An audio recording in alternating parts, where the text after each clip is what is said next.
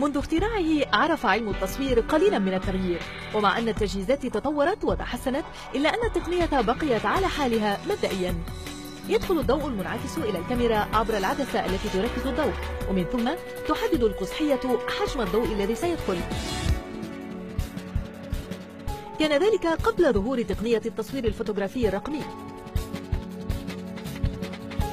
اليوم الكاميرات الرقمية منتشرة في كل مكان بدءا بالاستديوهات وصولا إلى غرف الأخبار وانطلاقا من كاميرات الجيب لغاية الكاميرات ذات الصورة المنعكسة الكاميرات الرقمية متوفرة حتى في الهاتف والكمبيوتر. تشبه الكاميرات الرقمية تلك العادية إلى حد بعيد ولكنها في الأساس ذات تكنولوجيا مختلفة تماما.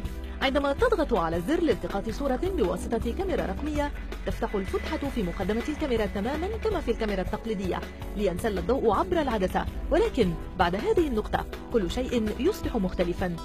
لا يوجد فيلم في الكاميرا الرقمية بدلا من ذلك هناك جهاز إلكتروني يلتقط أشعة الضوء الواردة ويحولها إلى إشارات كهربائية يعرف بوحدة الشحن الضوئي المترابط CCD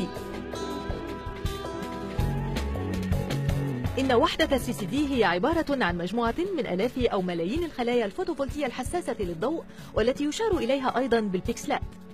تقوم عدسة صغيرة جدا موجودة فوق كل بيكسل بتركيز الضوء عليها.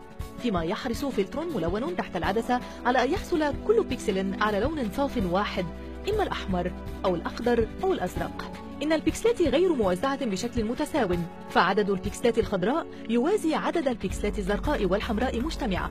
وذلك يعود إلى كون عين الإنسان غير حساسة للألوان الثلاث بالقدر نفسه.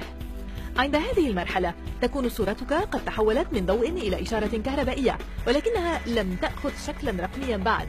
للقيام بهذه المهمة يقوم محول إلكتروني من قياسي إلى رقمي بتحويل الإشارة الكهربائية إلى سلسلة من الأرقام الرقمية. بعد ذلك يتم إدخال البيانات إلى شريحة كمبيوتر صغيرة تقوم بقراءتها ودمجها مع المعلومات المتعلقة بالألوان لإنشاء ملف صورة يتم تخزينه داخل وحدة ذاكرة النقالة. وهذا اختراع باهر.